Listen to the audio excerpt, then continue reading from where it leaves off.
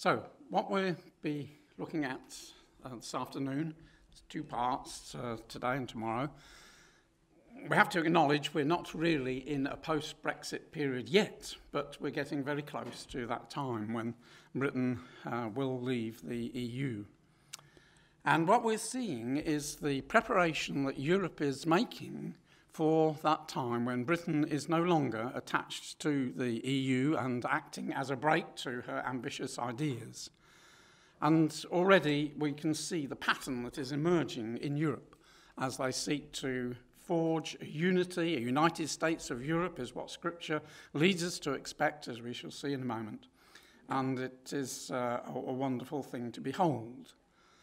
Now, we must be aware that we don't have to see all the final stages before the coming of our Lord Jesus Christ. I think if we put scripture together, it tells us that the Lord Jesus comes back, first of all, to his household to call the saints to judgment. And then I believe uh, Leviticus 23 indicates to us probably a period of 10 years before uh, the Battle of Armageddon. So, quite a lot of events can take place during that period when Christ is back on the earth in secret with his household. The Elijah work that Malachi chapter 4 talks about can take place. So, we are very close, brothers and sisters, to the coming of the Lord Jesus Christ. And this should put us on our mettle and make us alert to see the signs that God has given us of the nearness of the coming of the Lord Jesus Christ. Now, of necessity, I have to be fairly brief on the scriptural contents in these talks, but in milestones, I did this time uh, go very comprehensively into a lot of scriptures which indicate to us the steps that we should be expecting. And if any of you haven't got a copy of Milestones, uh, I have got some copies here. Just come and help yourself. So I don't know what went wrong there. Let's go back to. That's right. So, what we're basically looking at in our two parts, today's and tomorrow's, is really uh, covered by the two pictures which I chose to put on the front cover of this year's Milestones. The top picture is the Daily Telegraph's cartoonist depiction of uh, Juncker's State of the Union speech, which he made in September of last year, when he made it clear that Europe was now had got the opportunity to forge ahead, to unite, to build an army, and to become an independent power, independent of Britain, independent of America. And the Daily Telegraph cartoonist depicted him as a Roman emperor speaking to his people. And there's a great irony about that because that's what Scripture talks about. It talks about in the latter days, as we shall see in a moment when we look at Daniel chapter 2, the legs, the iron mixed with clay, but there is this link with Rome, with the iron of Rome. So we're going to look at Europe and a bit of Brexit, and then hopefully tomorrow, God willing, we'll look at the outcome from Trump's declaration that the embassy, US embassy, should move to Jerusalem, uh, and the many changes that have taken place in the Middle East in the past year or two. And again, it's going the way that Scripture has uh, indicated to us, so it is very exciting. Now, there is a great rift growing between America and Europe. And this was on the occasion, 7th of July, this is the front cover of the Economist magazine. Uh, this was the time when Trump came to Britain and then went to the NATO meeting, and it was quite clear to the leaders of Europe that there was a growing rift between their outlook uh, and America's outlook. If we just look more closely at that cartoon, it very skillfully, I have great admiration for cartoonists who can just with a few pen strokes well, not that it took him a few pen strokes, quite a lot of strokes there, but can so wonderfully just put this concept of this break, this rift between America and Europe. And again, this is something we've been looking for for a long, long time.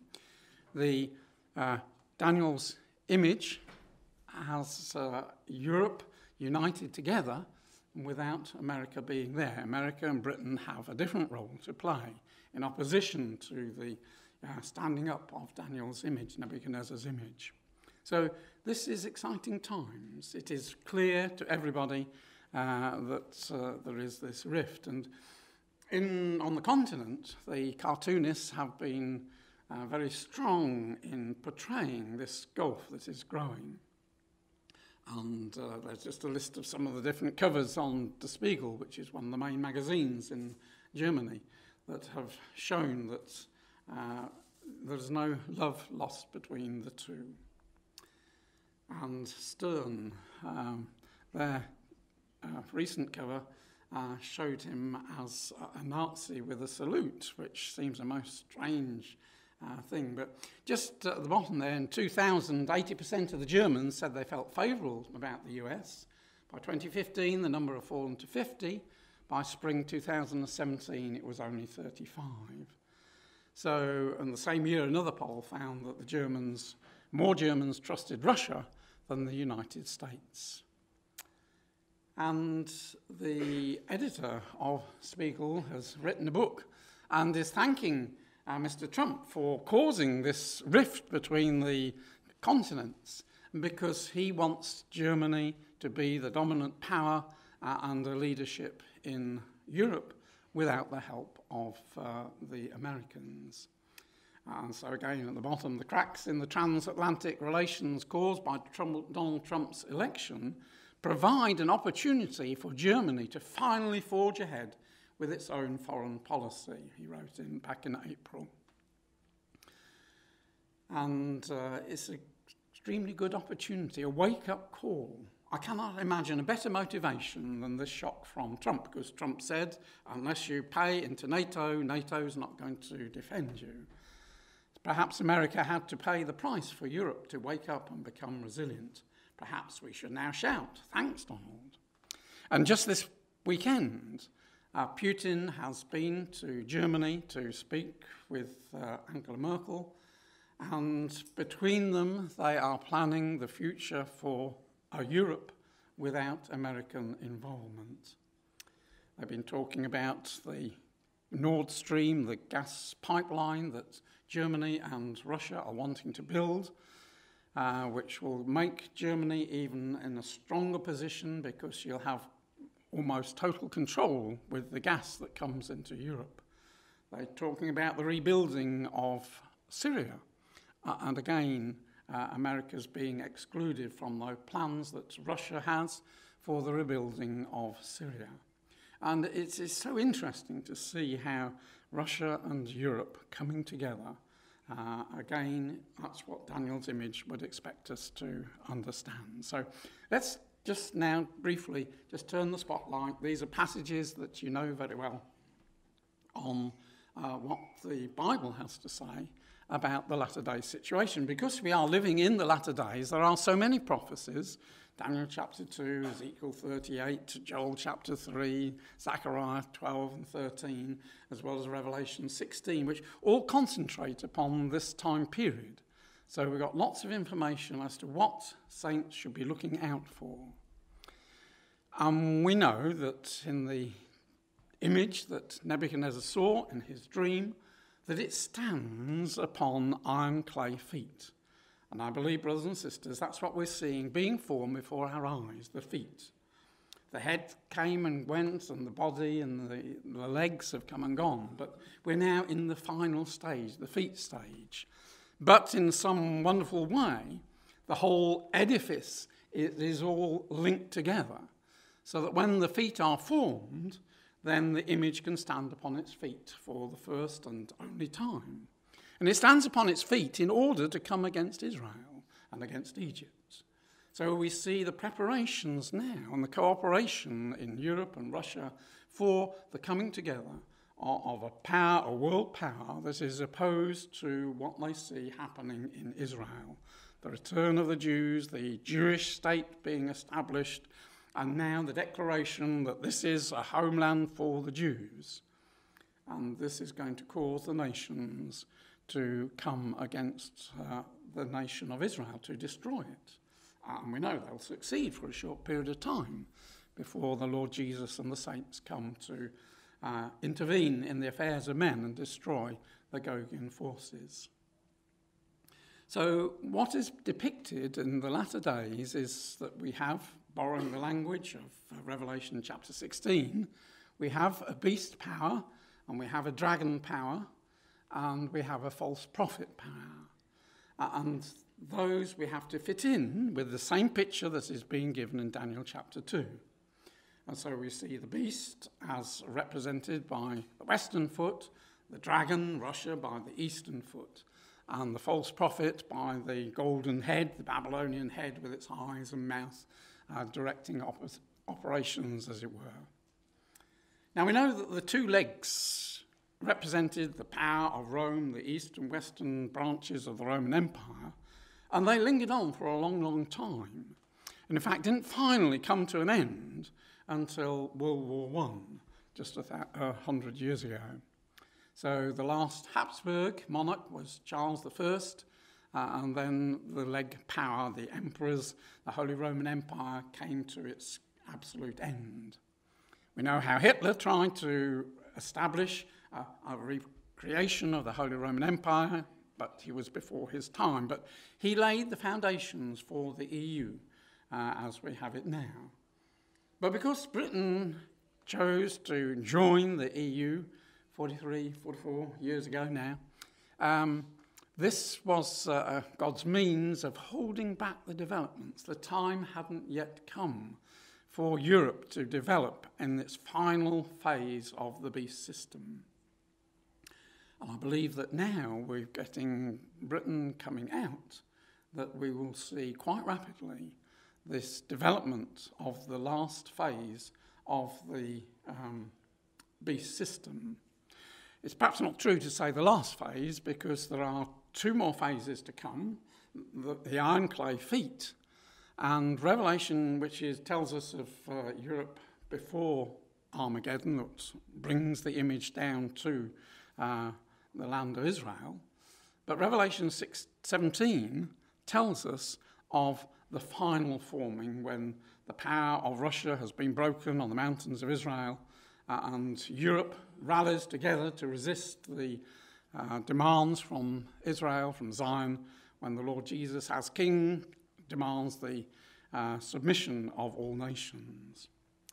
So we're in interesting times for the beast to grow. And if we look on the eastern leg, we have a very similar situation. Came to an end exactly the same time, 1918, when the Tsar Nicholas II was murdered. And again, God put communism into place to hold back the development of Russia.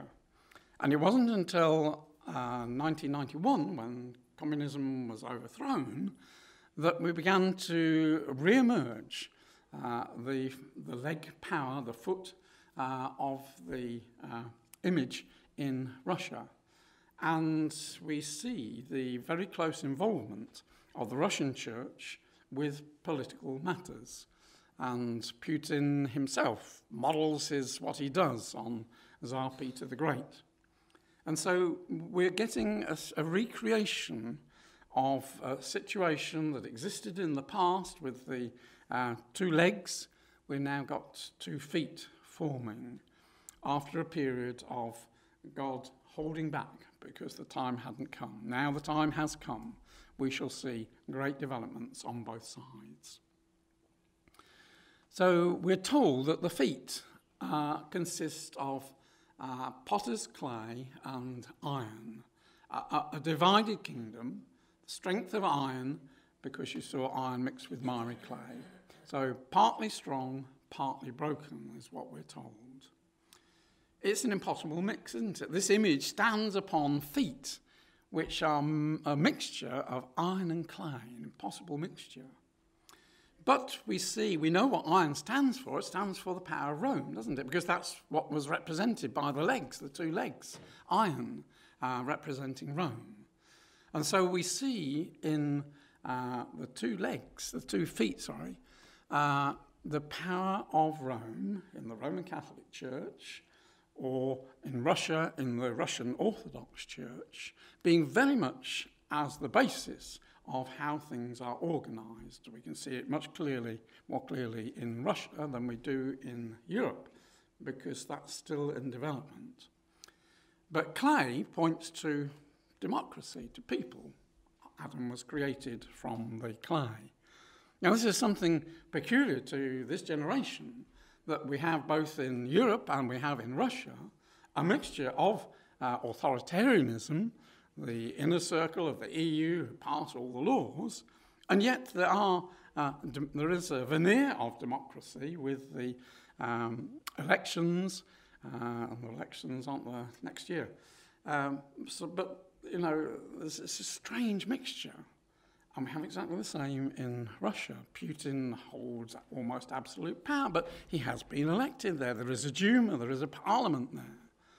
So, very much uh, an expression of the times of today when there's this hard authoritarian rule, uh, and very much that links back to the power of the churches. So, this is the situation we are in, the forming of the iron clay feet. And what we're seeing happening in Europe and in the ex Soviet satellite states are nations being drawn into the correct foot. Because the dividing line, if we take the old dividing line between the uh, Roman Empire, East and West, in the past, indicates that countries like uh, Cyprus and Greece and Turkey belong to the Russian foot, uh, not to the uh, Western foot. And so we're getting these tensions in the countries in that region as they get pulled. And Russia is doing her best to pull countries like Greece and Cyprus and Turkey uh, her way. Uh, and the EU is uh, struggling to resist that. But we see under the current Pope a great power to change Europe. We don't see much in the British papers about it, but if one looks at the continental papers and see what they say, there is very definitely a great trend in Europe now to turn back from the atheism that has swept Europe, uh, to come back to the Catholic roots of Europe, mainly as a stay against the heavy, uh, almost invasion of the Muslims into Europe.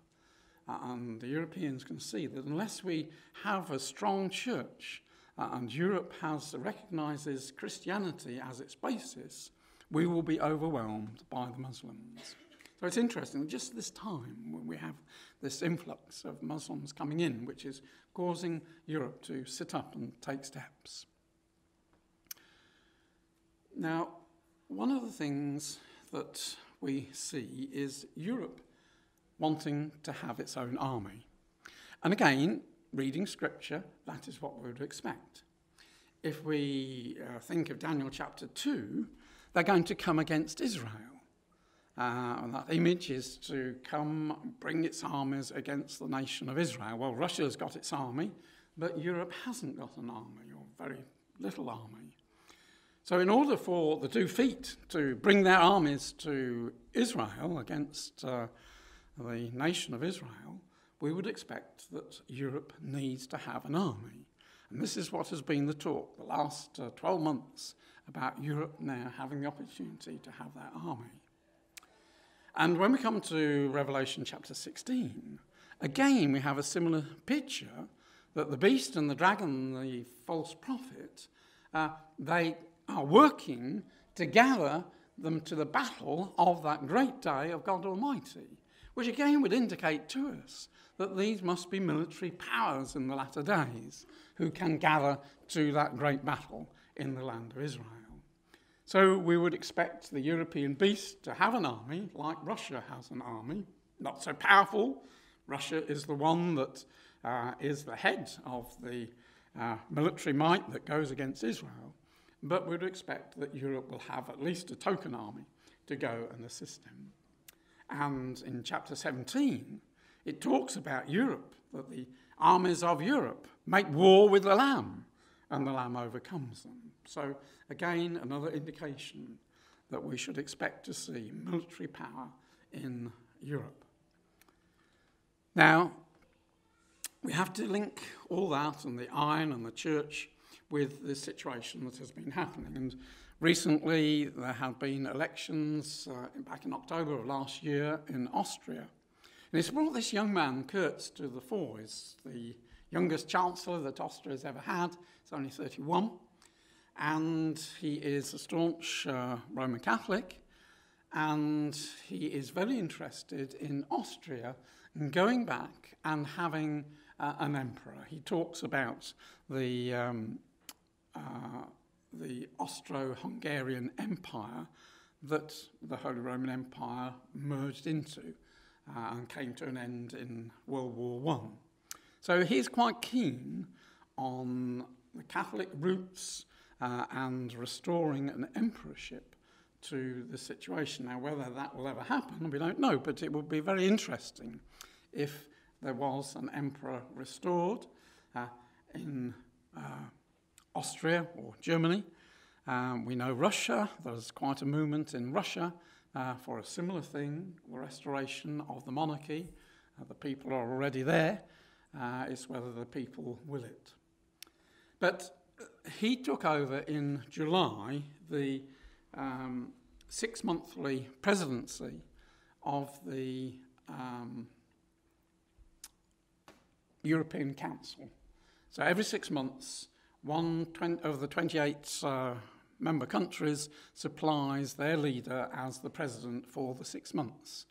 And so he started his stint in July, runs through to December. And one of the things that he's calling for, his slogan, is a Europe that protects. In other words, a Europe that looks inwards, very much like America. America for Americans. Americans.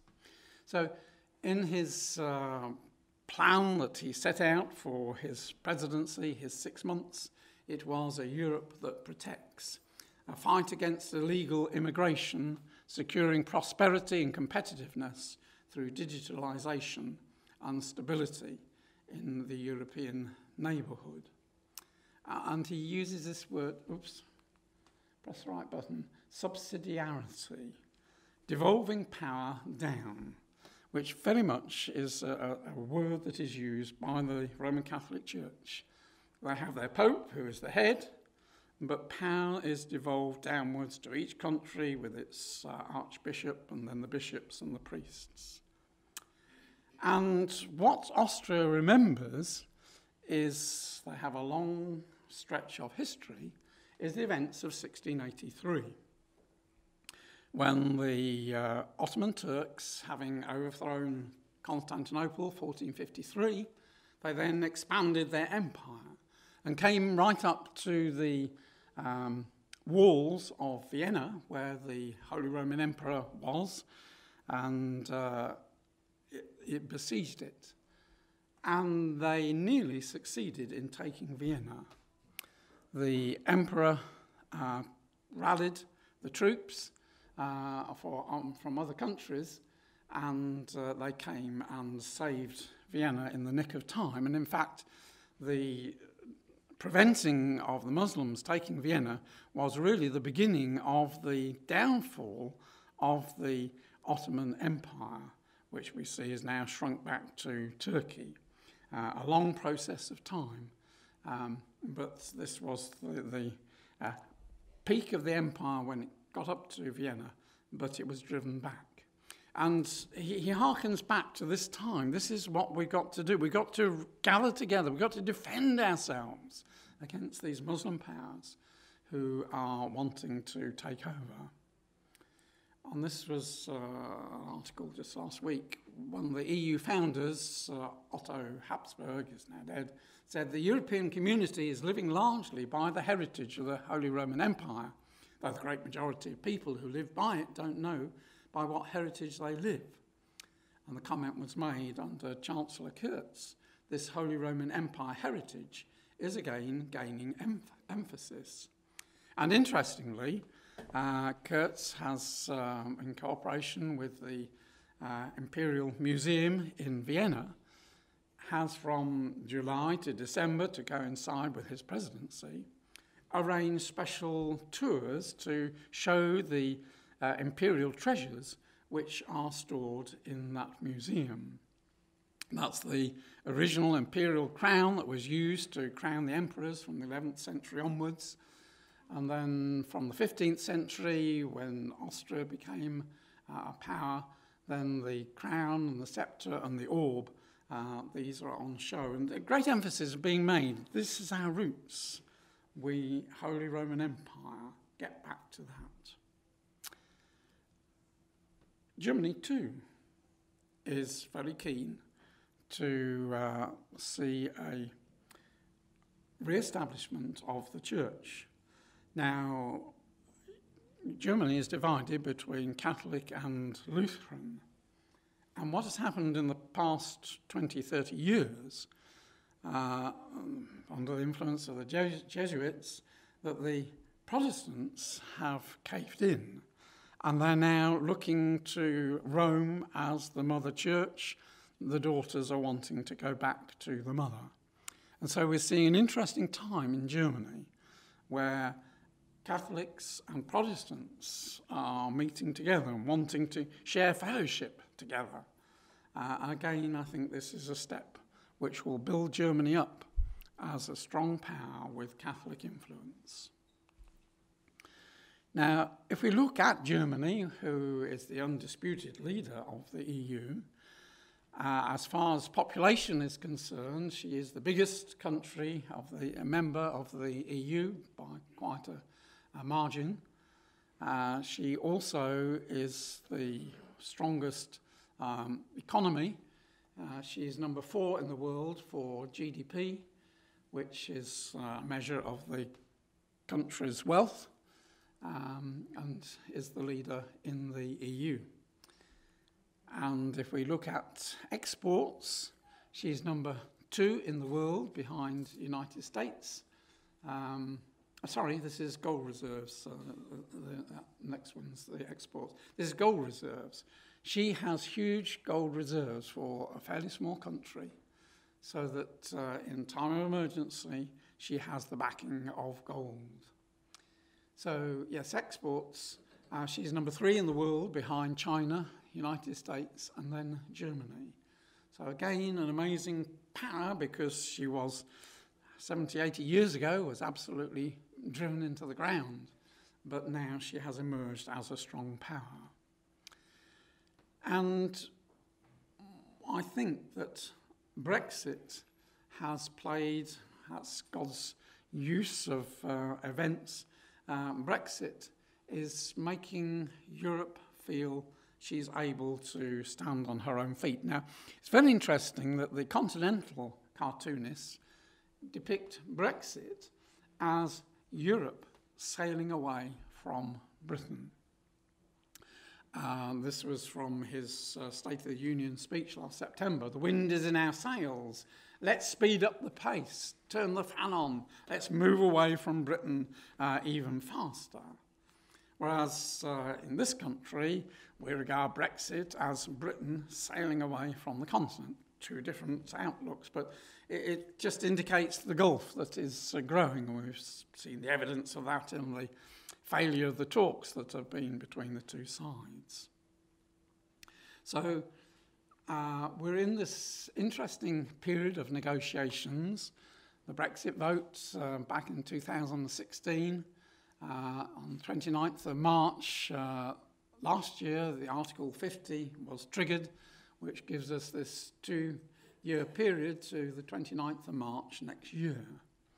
But as far as the EU is concerned, October is the deadline for talks and negotiations because whatever is agreed, if anything is going to be agreed, uh, has to go back to the member countries and be discussed and uh, talked through. Uh, and if one member nation doesn't agree with whatever has been agreed, if anything is agreed, uh, then the whole lot collapses. So there's a very tight, we're, not, we're in August, September, October is, is looming very close.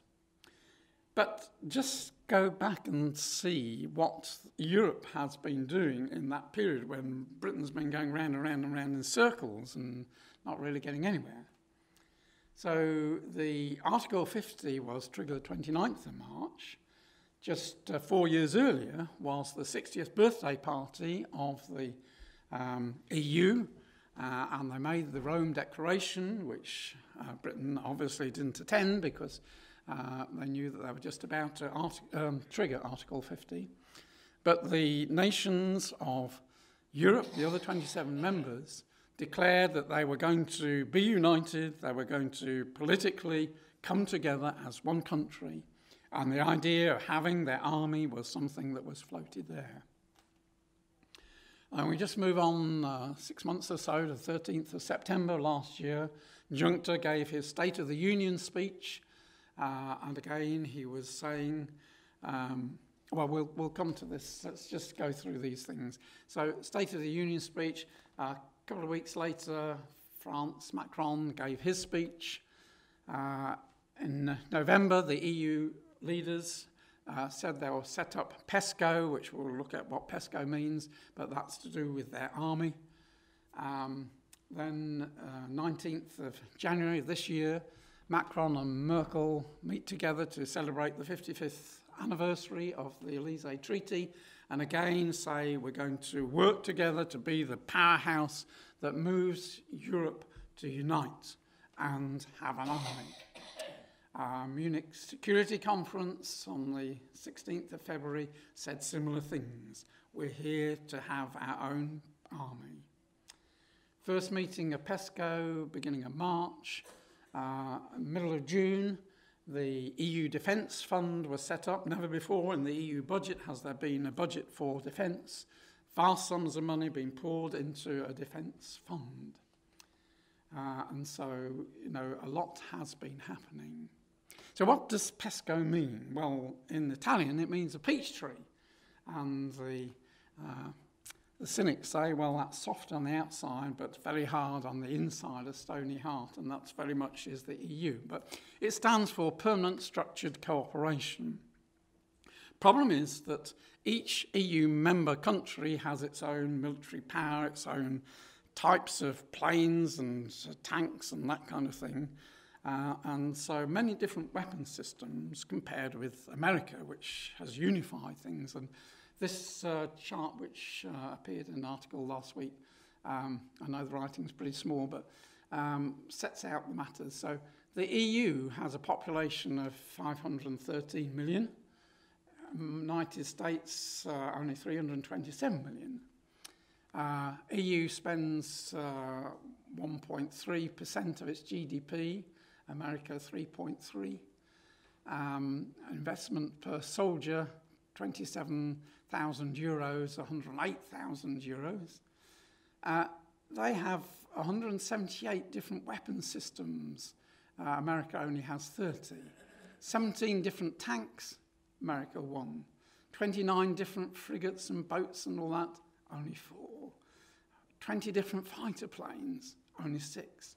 And you can see the idea of this um, permanent uh, cooperation is to reduce these vast numbers and just concentrate, have one tank, two or three aeroplanes and that, and then they can achieve economies of scale instead of each country doing its own thing, pooling resources. And so this is what PESCO has all been about.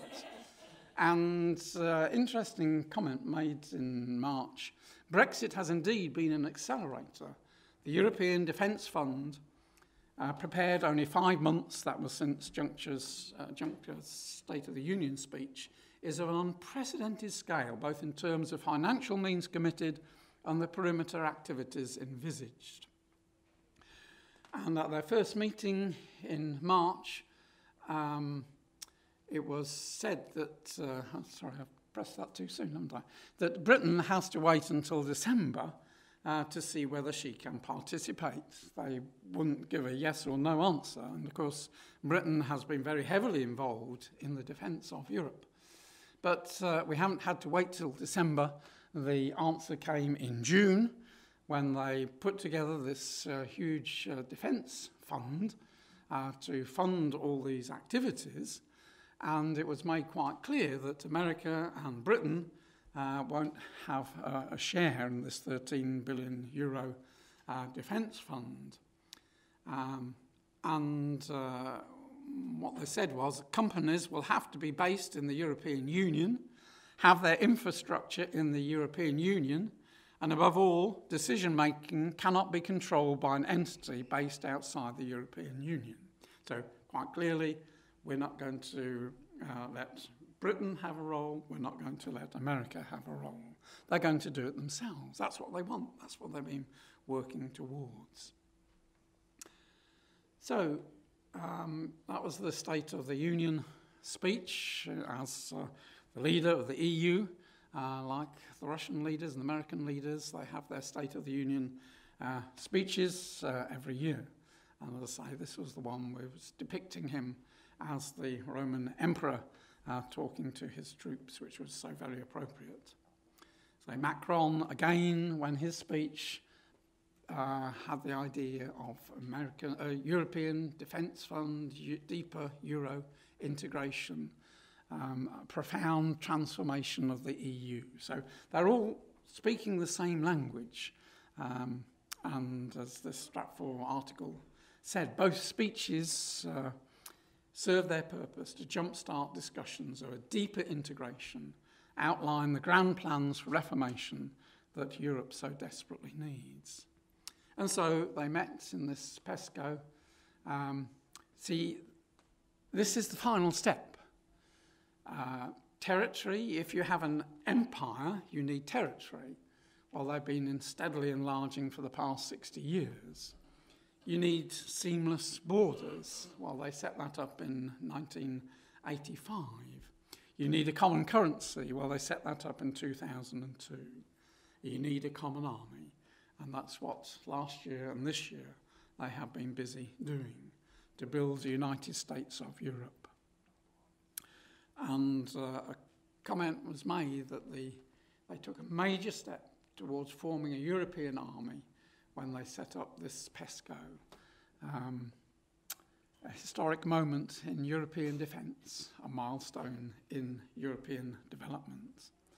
And the speed at which it has gone, this is uh, an Italian writer, quite an interesting writer, but he, he talks about the, the funding being put together at an astonishing speed, a massive arms build-up, bring European forces to the battleground on the paper and ready to go. So it's quite an event.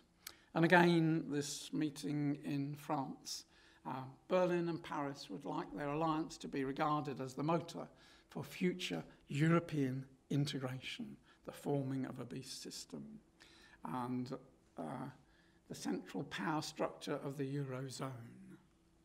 So when we look at a map of Europe and we see the beast and the dragon and the false prophet, and we see the cooperation that there is between all parts, this is fascinating. This didn't exist 20, 30 years ago.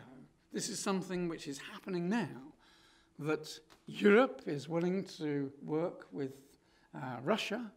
Russia is working with the Pope. Uh, Putin and Pope uh, get on very well together. And the Pope is very much pressing for Europe to develop uh, as a, a, unity. And uh, he made this uh, comment, but there is uh, a newsletter which comes out uh, every two months. Uh, the Catholic Church in the European Union and the Jesuit European Social Centre, Euroinfos. And it's fairly small print, but Catholics engaging in politics, this was in the latest issue. Italian Catholics were recently invited by Pope Francis to be more engaged in politics. But what did the Pope himself say back last year? He said, Europe's got two choices. It either has to be a federal community or it will no longer count for anything in the world. And what did he mean by a federal community? Well, federal is to act in concert, to unite in a common purpose or belief. So, what he was saying was Europe has got to rally together. Rally behind whom? Well, behind the church. This is, you know, the Roman Empire. Um, and uh, in the Lisbon Treaty, the Union is obliged to maintain an open, transparent, and regular dialogue with the churches. And you can read into that the Roman Catholic Church because they're more organised and they are continually influencing and having debates and issues uh, guiding the EU as to how they want it to go. This was the cartoon from today's Telegraph. Now, can anybody tell me who this chap is with the catapult?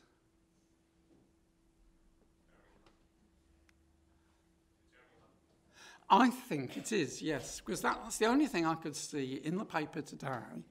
Jeremy Hunt is in America, and he said to the Europe, "You've got to stand up against Russia. You've got to work with America against Russia."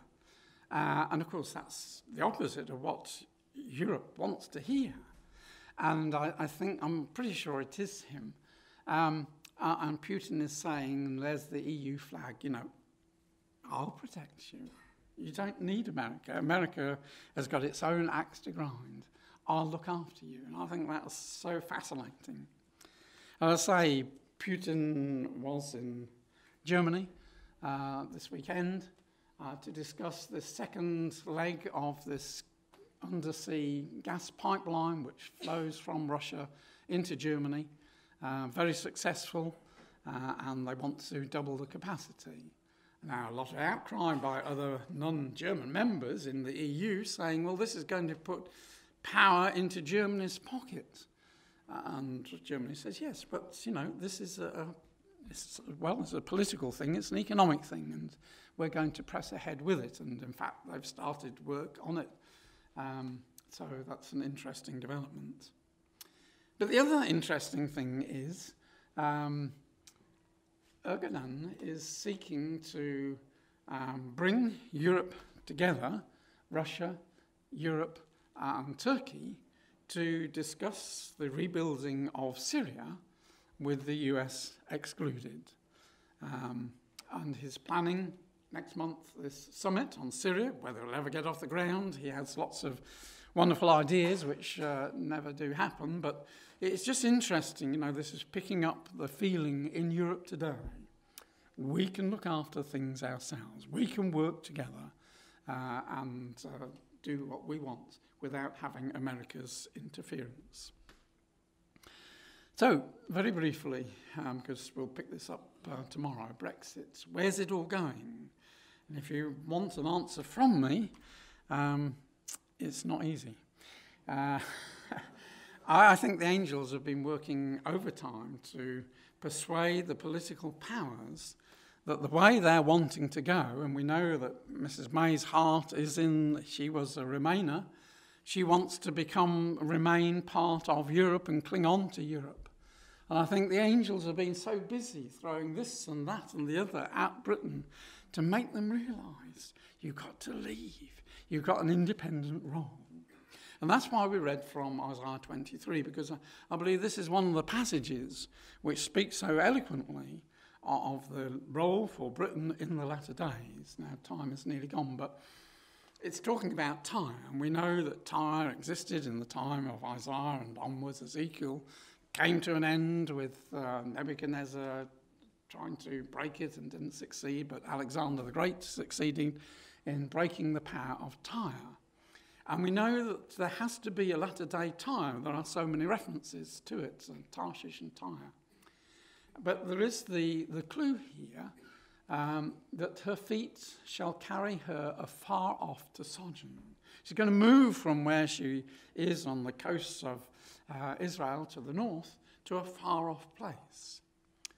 And uh, although one can see connections, and they, they did move and move to Cyprus and onwards like that, it is very clear that uh, at the end of the chapter, that uh, the power, there is to be a latter day power, um, we just go on to the next page here, that the Lord will visit Tyre, turn to her hire, commit fornication with all the kingdoms of the world upon the face of the earth, and her merchandise and her hire shall be holiness to Yahweh, shall not be treasured up, it shall be for them that dwell before Yahweh. So it is clear that at the time of the coming of the Lord Jesus, there is to be a Tarshish Tyre power whose energies are going to be used to help bring the Jews back to their land and to serve the Lord Jesus Christ.